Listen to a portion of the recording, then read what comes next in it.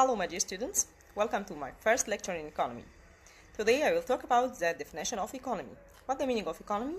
Economy is everything related to production and consumption in an area for goods or services. What the meaning of this definition? What the meaning of production, consumption, goods, services? To explain this definition, I have to put three examples or three cases. Case 1. If I produce a huge amount of this product in my factories, so I can transport or export this product to other countries.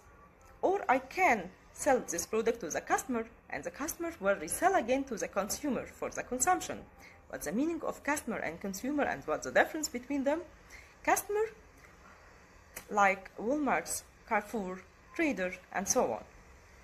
Consumer, like me and you. Case 2.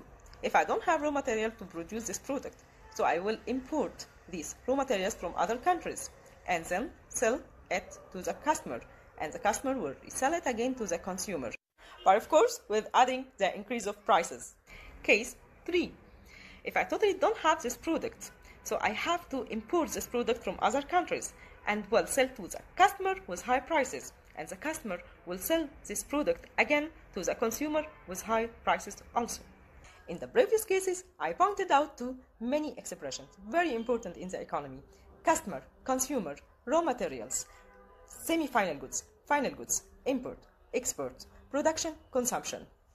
Watch the video again and try by yourself to guess the definition of these expressions and write them down in the comments. It was our first lecture. Don't forget to subscribe to my channel. Thanks for watching. See you next class. Goodbye.